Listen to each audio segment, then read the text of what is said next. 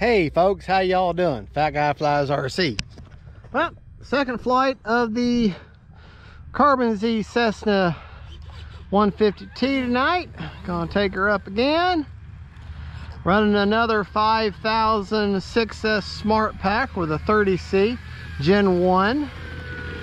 And uh, like I say, my only complaints with this plane, well, there's three complaints. The battery hatch doesn't secure really well. So you really have to make sure she's snapped in good, but with a hard hit, she'll pop right off. With a, with a hard landing, she'll pop off. I wish it had glass instead of a silvered out canopy. That's just a nitpick. The other design that actually is a design flaw though is you look at that rudder wheel. It's got a lot of slop in it and it and it will make it very prone to ground loop on you if you're not on the elevator, but it doesn't have a good, strong, solid connection. Just like the Draco, it, it kind of is sloppy, and uh, I'm not crazy about that. But other than that, she's a solid bird. And those really are all things that you can live with.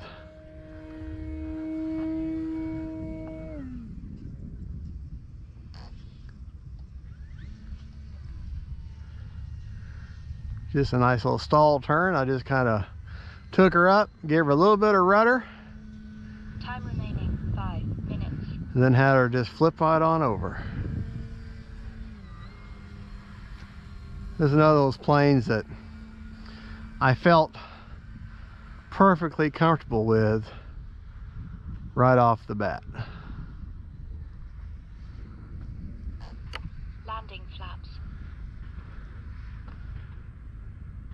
Bring her by nice and slow here.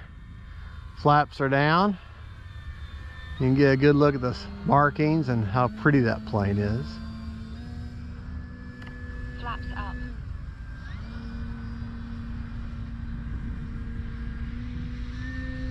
There's your knife edge for you.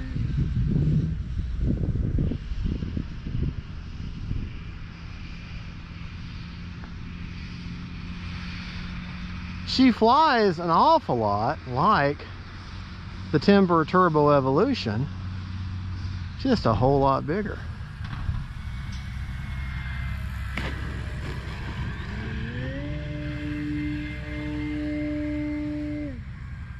Plenty of power to get up out of a tight turn or a tight situation or a tight whatever.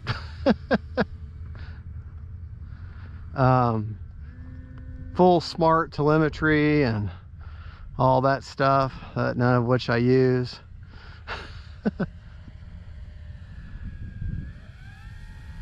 Bring her by nice and low there. Low and slow.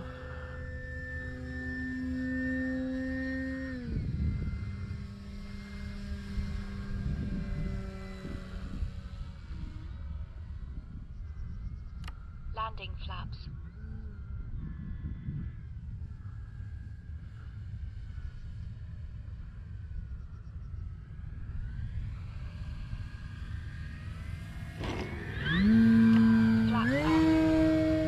Touch and go.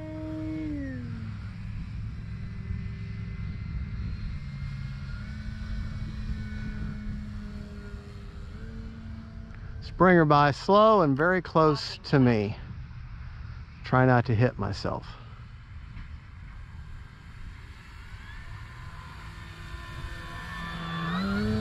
That's about as safe as I feel, sorry.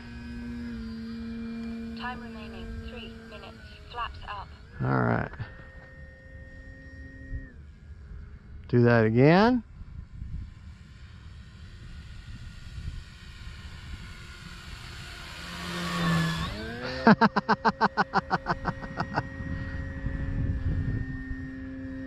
there again, I am the only one here. I'm the only one here, which is nice because I can, you know, fly the way I want, fly where I want, stand on the runway, stand wherever. But here is the irresponsible part. If I get hurt, snake bit, have a heart attack, get cut real bad with my prop, I've only got, I've only got my, now that was bad. I've only got myself to rely on. You know, if I'm out there in the middle of the field and get hit by my own plane, You know? I don't have my phone on me. It's over there by my radio box. Well, so you have to kind of plan ahead. And the best thing you can do is you let people know where you're going to be, what time, expect you back, you know, and then once you leave, say, hey, I'm on my way home now.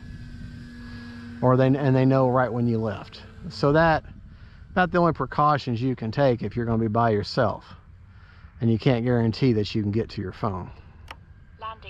All right, let's see if we can't do a nice little grass landing here.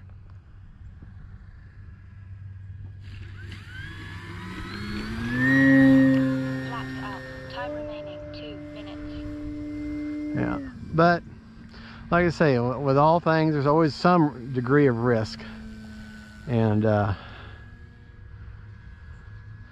and I know I'm just flying around in a pattern here, but this is what I like to do. I mean, I can take her up and.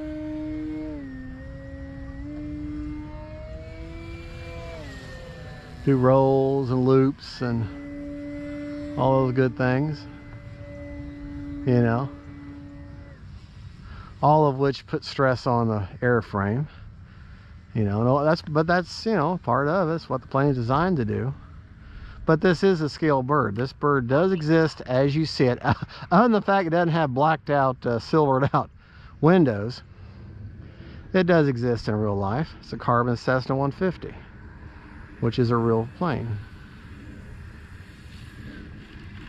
And they do have it in a tail dragger like this. All right. Let's see if we can do a STOL takeoff with a Cessna. There you go. What was that? Eight feet, 10 feet? Time remaining one minute.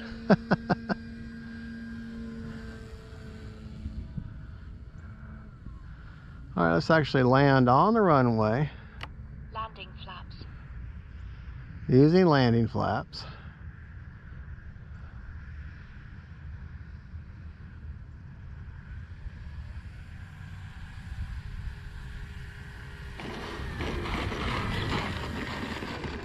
All right. Still got 41 seconds. I think we got enough for one more. Take off on the runway here.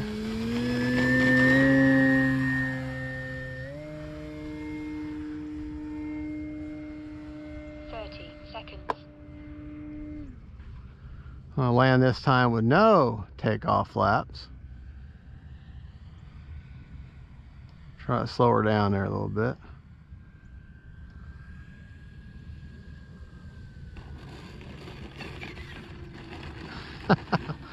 oh, come on, we can do better than that.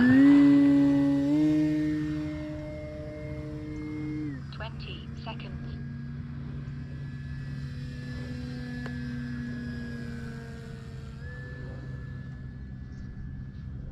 Ten, nine, eight, seven, six,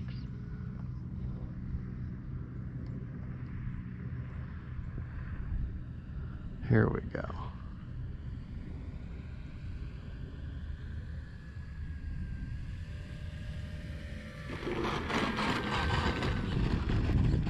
There we go, folks. That's what I was looking for. four. Motor off. Is that not one beautiful, beautiful plane? Folks, there you go. That is the Carbon Cessna 150T, Carbon Z, Carbon Z Cessna 150T, T stand for tail dragger. 6S bird. Let's look at our uh, flight time here, see what's left on the battery. Oh gosh, I still got over half. 3.91, 3.92, all the way down. So yeah, I could have flown for another three or four minutes. All right, folks, and that was a five and a half minute timer. So you can get 10 minutes of flying on a 5,000 if you, you know, mix flying, maybe 12 if you really baby it. But if you're gonna fly her pretty rough and a lot of takeoff and landings, eight to, you know, seven, eight minutes, something like that. If you're gonna really do a lot of tricks, a lot of power. But uh, just to show you how well, if at a slower speed, the tail wheel can be quite effective. Um, there's just enough grab. If you get any kind of real speed in her, then see the tail wheel goes crazy. See it sideways. Now the springs are gonna, you can see it kind of reacts with the uh, rudder, but sloppy. And uh, I would just soon have those, instead of having springs, just have straight rods. And I might do that. Um, but like I say, those springs are what absorb some kinetic energy, but at the same time, give you a slop. So you're, you know, it's your trade-off. If you take it straight and have a precision movement, then that kinetic energy is going to go somewhere else. So the question is, is where? All right, folks, there you go.